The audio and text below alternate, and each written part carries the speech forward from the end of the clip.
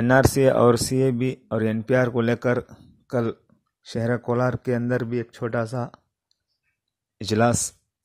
لیکن یہ میں سمجھتا ہوں کہ ایک بہت بڑا اجلاس جو نماز جمعہ کے بعد دعاؤں کا اہتمام کرتے ہوئے کیا گیا، تو آپ دیکھ سکتے ہیں۔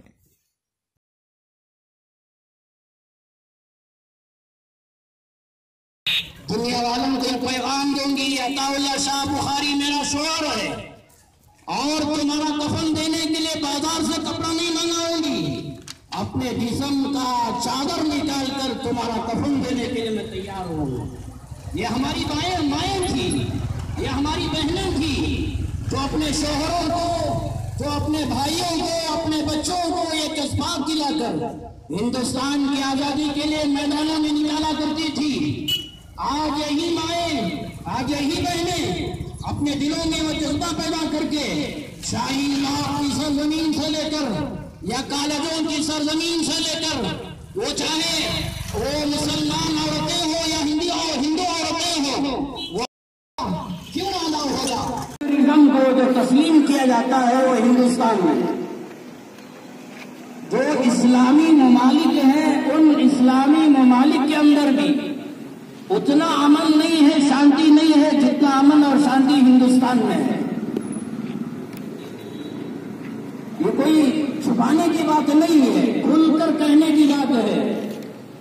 دنیا کے اندر پچاس سے زائد اسلامی ممالک ہیں۔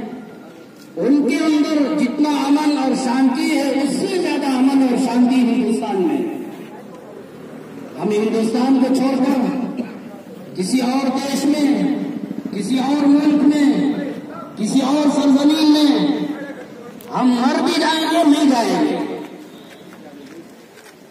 آج ہندوستان کے اندر جہاں بچے، نوجوان، بوڑھے، عورتیں، مسلمان، ہندو دلت عیسائی وغیرہ ہر قسم کی ذات سے تعلق رکھنے والے راستوں میں، میدانوں میں سڑکوں میں آ چکے ہیں۔ انہیں لوگوں میں عورتوں کا بھی طبقہ ہے۔ عورتوں عورتیں بھی میدانوں میں آ کر، سڑکوں میں آ کر اپنے حق کا مطالبہ کر رہے ہیں۔ یہ عورتیں کوئی معمولی نہیں ہے ہندوستان کی آزادی کے موقع پر Hazrat Maulana Ataullah Shah Bukhari go back N R C go back N P R go back C A B rejected C A B N R C اور N P R I am an Indian citizen. I rejected CAA, NRC and NPR. کو جو تسلیم کیا جاتا ہے وہ ہندوستان میں جو اسلامی ممالک ہیں ان اسلامی ممالک کے اندر بھی اتنا امن نہیں ہے جتنا امن اور شانتی ہندوستان میں ہے، یہ کوئی چھپانے کی بات نہیں ہے، کھل کر کہنے کی بات ہے۔ دنیا کے اندر پچاس سے زائد اسلامی ممالک ہیں۔ ان کے اندر جتنا امن اور شانتی ہے، اس سے زیادہ امن اور شانتی ہندوستان میں ہے۔ ہم ہندوستان کو چھوڑ کر کسی اور دیش میں، کسی اور ملک میں کسی اور سرزمین میں ہم مر بھی جائیں گے نہیں جائیں گے۔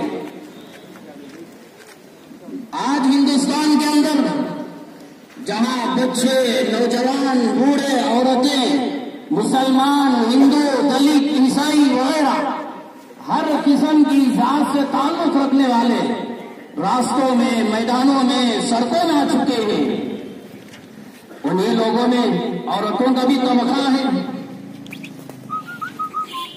عورتوں عورتیں بھی میدانوں میں آ کر، سڑکوں میں آ کر اپنے حق کا مطالبہ کر رہے ہیں۔ یہ عورتیں کوئی معمولی نہیں ہے ہندوستان کی آزادی کے موقع پر حضرت مولانا عطا اللہ شاہ بخاری دلی شاہین باغ کے اندر جو عورتیں، جو بچے، جو پچاس، ساٹھ، ستر، اسی، نوے سال کی جو عورتیں، بچے، نوجوان، مرد حضرات سبھی نے سارے ہندوستان کے عوام کے آنے والے نسلوں کے ہمدردی کے لیے یہ جو کالا قانون جو حکومت اس عوام کے اوپر تھوپنا چاہ رہا ہے، اس کے لیے اس سرد راتوں میں وہاں پر بیٹھے ہیں، وہ اپنی آپ کی مثال ہے، لیکن ہم بھی اپنے اپنے گاؤں میں ان کی آواز میں آواز ملاتے ہوئے ایک رات، دو رات، تین رات اگر بیٹھیں تو یہ جو قانون ہمارے اوپر لاگو ہونے جا رہا ہے N R C C A B اور این پی آر کو لے کر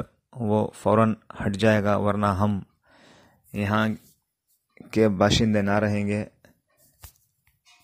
ہم ان کی ہاں میں ہاں ملاتے ہوئے ہم اپنے شہروں میں بیٹھنا ضروری ہے، ورنہ ہم زندہ تو ہیں لیکن مردہ قرار پائیں گے۔